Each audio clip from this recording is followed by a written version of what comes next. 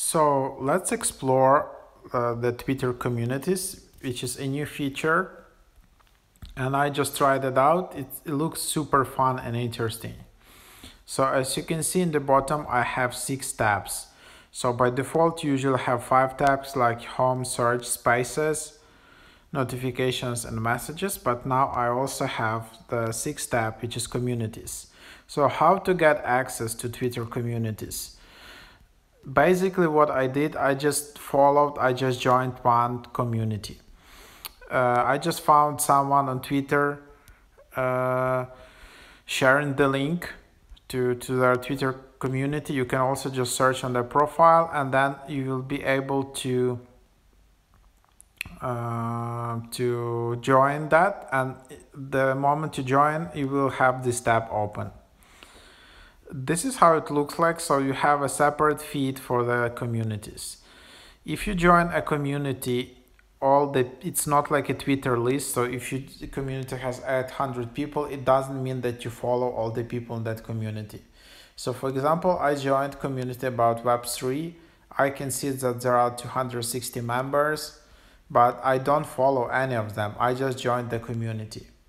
By the way, I can also invite members to the community. There is a limitation of five invites. So to invite other people, I can just search them by username and invite someone. Uh, you need to be able to send DM to that profile to invite that person to community.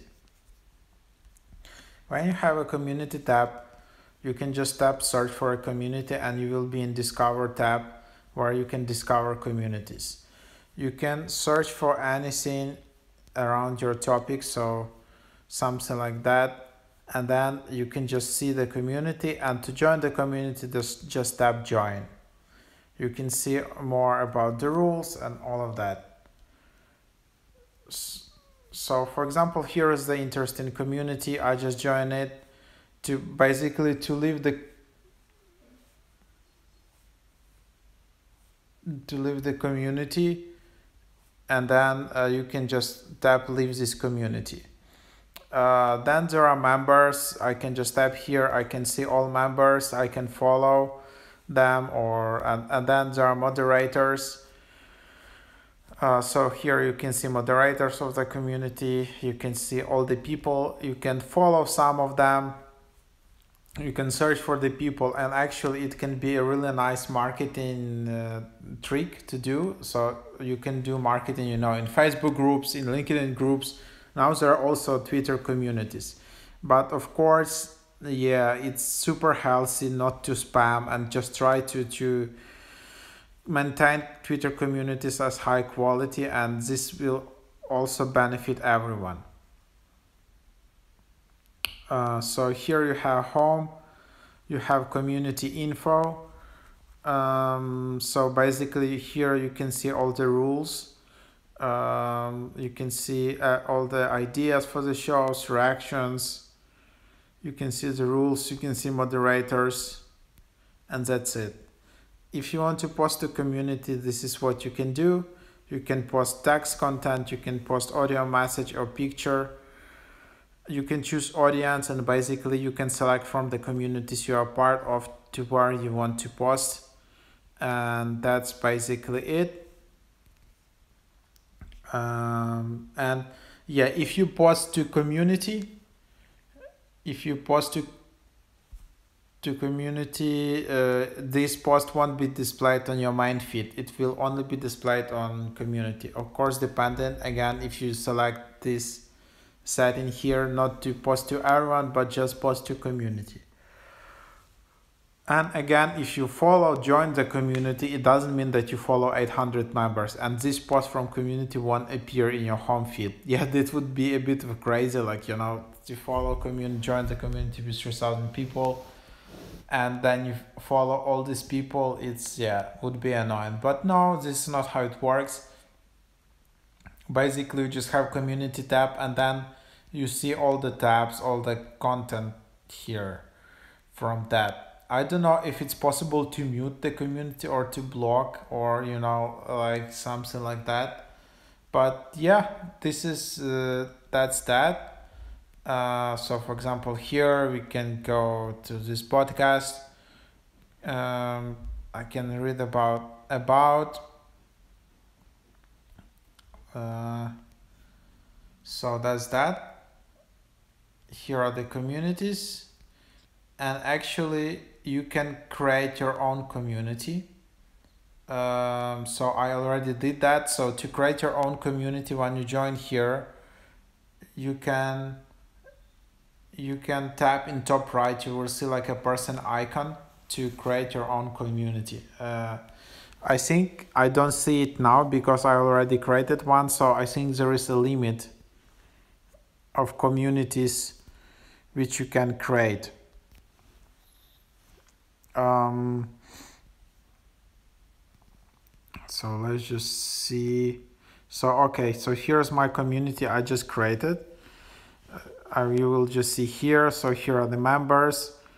Uh, I want to invite uh, some other people here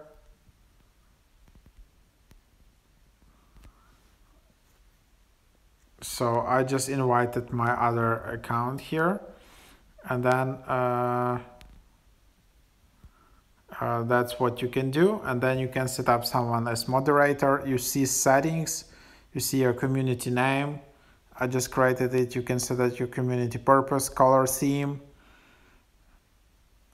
membership type. So if you create your own community, you can control who can join your community. Keep in mind all communities are visible to everyone on Twitter. You can create open community, anyone can join or be invited or restricted.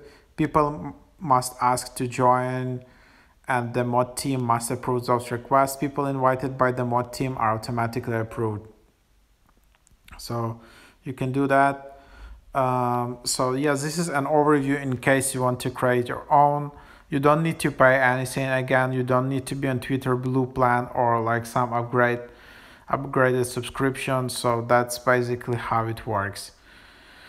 Then there is when you created your community there is a community checklist. You can review your rules. You can personalize your, you can invite members. You can tweet about your community. And then here is about section. Uh, and then yeah it can be super helpful and this feature of twitter is really growing quite fast. A lot of people are joining.